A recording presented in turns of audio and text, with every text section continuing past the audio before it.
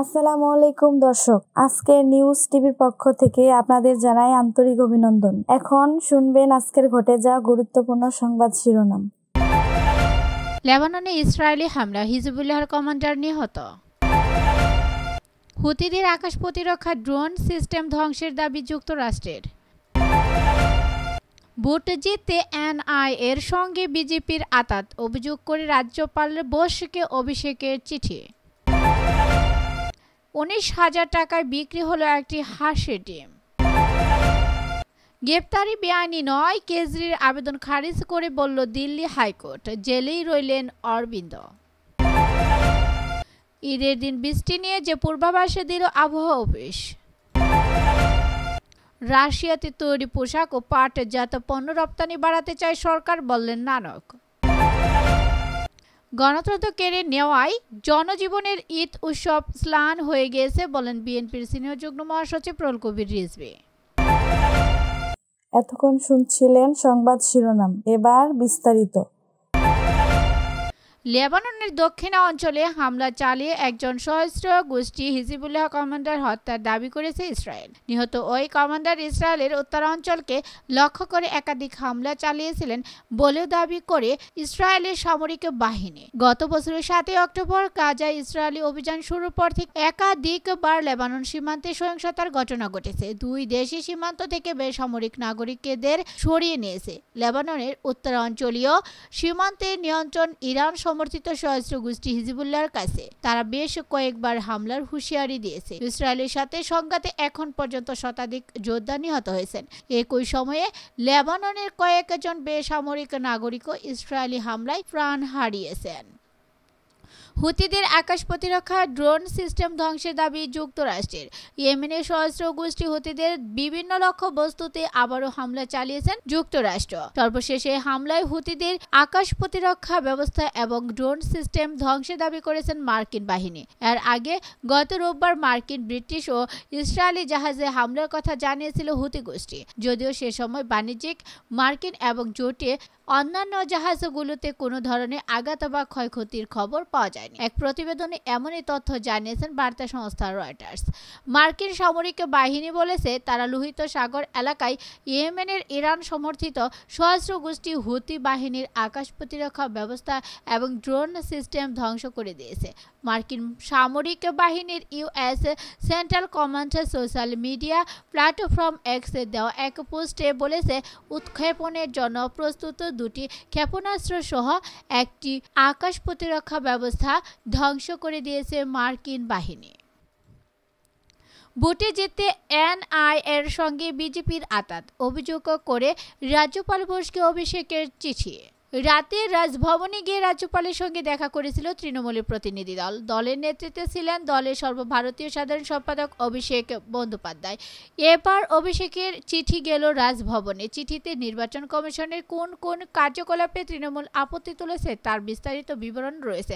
পাশাপাশি কেন্দ্রীয় এজেন্সিগুলোকে, পাশাপাশি কেন্দ্রীয় এজেন্সিগুলিকে হাতিয়ার করে বিজেপি ভোটে জেতার চক্রান্ত করছে বলেও চিঠিতে অভিষেকের দাবি। রাজধানী দিল্লিতে নির্বাচন কমিশনের ফুল ব্যান্সের সঙ্গে দেখা করে তৃণমূলের দশ সদস্যের একটি প্রতিনিধি দল।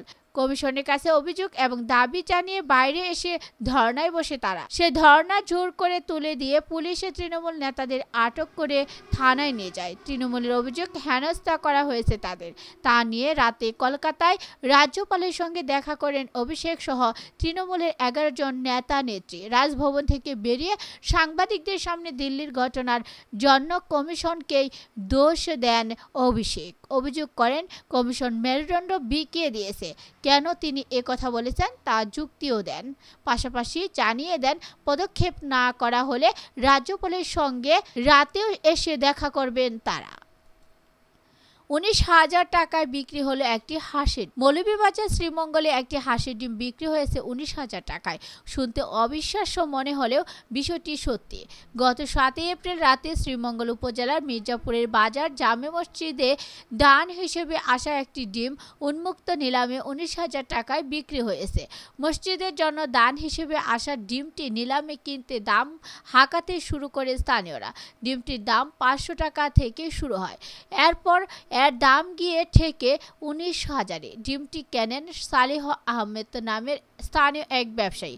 মূলত মসজিদের উন্নয়ন কাজে এই টাকা ব্যয় হবে, এজন্য এই ব্যবসায়ী চড়া দাম দিয়ে ডিমটি কিনে নেন। মির্জাপুর বাজারের ব্যবসায়ী মোহাম্মদ জাকির হোসেন বলেন, আগেকার সময় মসজিদের উন্নয়ন কাজ করার লক্ষ্যে বিভিন্ন দ্রব্য সামগ্রী দিয়ে এভাবে প্রতিযোগিতাপূর্ণ নিলামের আয়োজন হতো। এই নিলাম দেখতে বহু মানুষ জোর হয়ে অনেকে অংশগ্রহণ করতেন। এখন আর আগের মতো এই নিলাম ডাকা হয় না। বলতে গেলে প্রায় বিলুপ্তির দিকে এই নিলাম ডাক। তবে মসজিদের উন্নয়নের স্বার্থেই এসব নিলাম টিকিয়ে রাখা জরুরি এবং এতে ক্রেতাদের অংশগ্রহণ করাও জরুরি। এদিকে একদিনে বিকেল পাঁচটায় শ্রীমঙ্গল জামে মসজিদে নিলামে একটি আতাফল এক হাজার পাঁচশো টাকায় বিক্রি হয়। শ্রীমঙ্গল শহরের স্থানীয় এক ব্যবসায়ী নাম প্রকাশ না করার শর্তে আতাফলটি কিনে নেন। গ্রেপ্তারি বিআইনি নয় কেজরির আবেদন খারিজ করে বলল দিল্লি হাইকোর্ট। জেলেই রইলেন অরবিন্দ। আবগারি মামলায় অরবিন্দ কেজরিওয়ালের গ্রেপ্তারি বিআইনি নয়, আপাতত তাকে জেলেই থাকতে হবে। গ্রেপ্তারি চ্যালেঞ্জ করে দিল্লির মুখ্যমন্ত্রী আদালতে যে আবেদন করেছিলেন তা খারিজ করে এমনটাই জানালো দিল্লি হাইকোর্ট। দিল্লির আবগারি মামলায় গত একুশে মার্চ কেজরিওয়ালকে গ্রেপ্তার করেছিল কেন্দ্রীয় তদন্তকারী সংস্থা ইডি। এর পরপরই তার গ্রেপ্তারিকে চ্যালেঞ্জ করে আদালতে দ্বারস্থ হন আপ প্রদান দুপক্ষের সওয়াল শোনার পর কেজরির গ্রেপ্তারি নিয়ে করা মামলায় রায়দান সংরক্ষিত রেখেছিল দিল্লি হাইকোর্ট। রায়দানের সময় দিল্লি হাইকোর্ট জানিয়েছেন, কেজরির গ্রেপ্তারি বেআইনিভাবে হয়নি। হাইকোর্টের পর্যবেক্ষণ ইডি আদালতে জানিয়েছেন যে, কেজরির বিরুদ্ধে তাদের হাতে প্রমাণ রয়েছে। দিল্লির মুখ্যমন্ত্রীকে আবগারি মামলার মূল চক্রী হিসেবেও দেখিয়েছেন কেন্দ্রীয় তদন্তকারী সংস্থা। ঈদের দিন বৃষ্টি নিয়ে যে পূর্বাভাসে দিল আবহাওয়া অফিস। আবহাওয়াবিদে বজলুর রশিদ গণমাধ্যমকে জানান, নয় এপ্রিল থেকে দেশের আকাশ পরিষ্কার থাকবে। সকাল থেকে দুপুর পর্যন্ত তাপমাত্রাও স্বাভাবিক থাকবে। তবে দুপুরের পর থেকে তাপমাত্রা বাড়তে থাকবে। আগামী দশ এপ্রিল থেকে আবারও সারা দেশে তাপমাত্রা বাড়তে শুরু করবে। সেই হিসাবে এবার ঈদের দিন বৃষ্টি থাকবে না, বরং থাকবে ভেবসা গরম। এদিকে আবহাওয়া দপ্তরের বাহাত্তর ঘণ্টা পূর্বাভাস অনুযায়ী মৌসুমের স্বাভাবিক লঘুচাপ দক্ষিণ বঙ্গোপসাগরে অবস্থান করছে। এমনই পরিস্থিতিতে আগামী কয়েক দিন অস্থায়ীভাবে আংশিক মেঘলা আকাশ ও সারা দেশের আবহাওয়া প্রধানত শুষ্ক থাকতে পারে। তবে এ সময় বৃষ্টির সম্ভাবনা নেই। রাশিয়াতে তৈরি পোশাক ও পাটের জাত পণ্য রপ্তানি বাড়াতে চায় সরকার বললেন নানক। বস্ত্র ও পাটমন্ত্রী এবং বাংলাদেশ আওয়ামী লীগের সভাপতিমণ্ডলীর সদস্য জাহাঙ্গীর কবির নানক বলেছেন বাংলাদেশের তৈরি পোশাক ও পাটের জাত পণ্য রাশিয়াতে আরও বেশি রপ্তানির সুযোগ নিতে চায় সরকার। তিনি জানান, পাট ও পাটজাত পণ্যের বড় রপ্তানি বাজার হতে পারে দেশটি। সকালে সচিবালয়ে রাশিয়ার রাষ্ট্রদূত আলেক্স জান্ডার বি ম্যান্টেসিকের সঙ্গে সাক্ষাতের শেষে সাংবাদিকদের সঙ্গে আলাপকালে এই মন্ত্রী এই আশাবাদ ব্যক্ত করেন। তিনি বলেন, বাংলাদেশের মুক্তির যুদ্ধে বড় অবদান রয়েছে রাশিয়ার। রাশিয়া আমাদের দীর্ঘদিনে পরীক্ষিত বন্ধু। তারা আমাদের মহান স্বাধীনতা যুদ্ধে এবং যুদ্ধ পরবর্তী দেশপূর্ণ গঠনে যেমন সহযোগিতা করেছে, তেমনি বর্তমান সময়ে তা অব্যাহত রেখেছে। দ্বাদশ সংসদ নির্বাচনে প্রধানমন্ত্রী শেখ হাসিনা টানা চতুর্থবারের মতো প্রধানমন্ত্রী হিসেবে দায়িত্ব গ্রহণের পর রাশিয়ার প্রেসিডেন্টে তাকে অভিনন্দন জানিয়েছেন। রাশিয়ার সহযোগিতায় রূপপুর পারমাণবিক বিদ্যুৎ কেন্দ্র নির্মিত হচ্ছে। গণতন্ত্র কেড়ে নেওয়ায় জনজীবনের ঈদ উৎসব স্লান হয়ে গেছে বলেন বিএনপির সিনিয়র যুগ্ম মহাসচিব রুল কবির রেজভি। গণতন্ত্র কেড়ে নেওয়ায় জনজীবনের ঈদ উৎসব স্লান হয়ে গিয়েছে বলে মন্তব্য করেছেন বিএনপির সিনিয়র যুগ্ম মহাসচিব অ্যাডভোকেট রুহুল কবির রেজভি। আজ দুপুরে নয়াপল্টন বিএনপির কেন্দ্রীয় কার্যালয়ে এক সংবাদ সম্মেলনে এসব কথা বলেন তিনি। রিজভি বলেন, পবিত্র ঈদ উল ফিতর সমাগত। বিশ্ব মুসলিমের এটি সর্বোচ্চ আনন্দ ও খুশির দিন। ধনী গরিব নির্বিশেষে সকলে এই উৎসব পরিবার স্বজন শুভাকাঙ্ক্ষীদের নিয়ে উপভোগ করেন। কিন্তু এবছর আবার জনগণের ভোটে অধিকার গণতন্ত্র কেড়ে নেওয়ার জন্য জনজীবনের এই উৎসব স্লান হয়ে গিয়েছে। সেই সাথে ডামি সরকারের রাষ্ট্রীয় অর্থনীতি, হরিলুট আর মহা দুর্নীতির কারণে মানুষের শেষ হাসিটুকু বিলীন হয়ে যাচ্ছে।